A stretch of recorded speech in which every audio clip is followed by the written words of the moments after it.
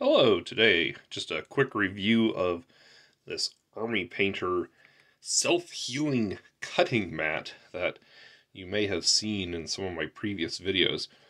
This is a must-have if you share your hobby space with anything, or if you just want to have a uniform surface for building on and painting on and things like that.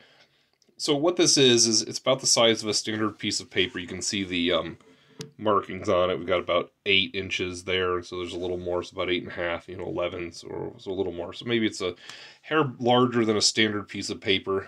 I just put this on my desk and I do my building and painting on it. I don't have to worry about, you know, if I have a miniature that's may have some wet paint and I put it on here, you know, it's going to get paint on this mat. The idea is not to keep this pristine. The idea is for this to protect your surface, uh, your desk or whatever, and to have a consistent place to kind of work on.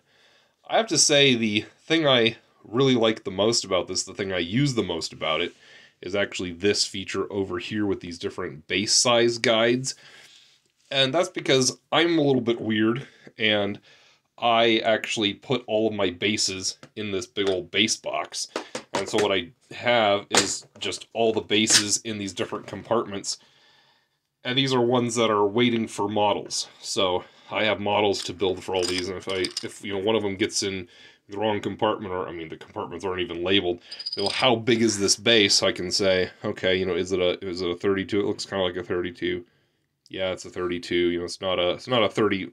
I do Games Workshop. They don't have 30, you know, but it's definitely not a 25. Some of these other sizes, like I have no idea what size this is. I knew what size the other that other base was, but if I stick it on here, say, oh, it's the smallest circle. It's a 40 mil base. Okay, what about you know this one here? Oh, that's you know the next circle. That's a 50 mil base. And so then when I'm going through the instructions for my miniatures, when it calls for a certain base size, I'll be able to do that nicely and just get it out of here. So I use that feature a lot. I do cut on this, so like I have one of these, you know, um, you know, cutting hobby knives, and I do cut on here, and you can cut onto it pretty good. They say self-healing.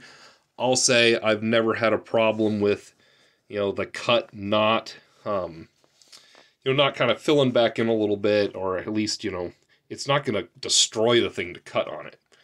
The other thing that's really handy, and this is uh, especially if you film videos for YouTube, so it's up to you. I do. Uh, you might choose not to, or you might choose to on the back side, if we flip it over, so this is the back side of it, it's got a nice black um, backdrop for filming. So I like to film on a black backdrop generally as much as I can. I've got my black even behind it here.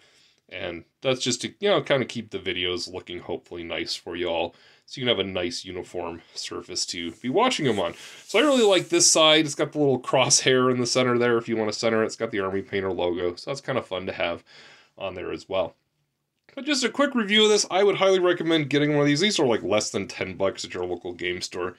Just pick one up, you know, use it to build your hobby uh, stuff on, you know, use it to assemble on, have a little, you know, when your paint's drying, you can put somebody on there, you don't have to worry about, yeah, like I got glue on this, you don't have to worry about, oh, where did I get glue? It's just on the mat, right? It's, nothing's going to really stick to this. Like if you glue something, you put it down, like the glue gets on there and you pull it off, it's not really going to stick. That's kind of nice as well.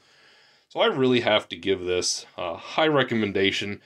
This is a, a nice product. It's good and thick, so you know I don't know about how thick. It's at least three or four mils thick, uh, maybe even five.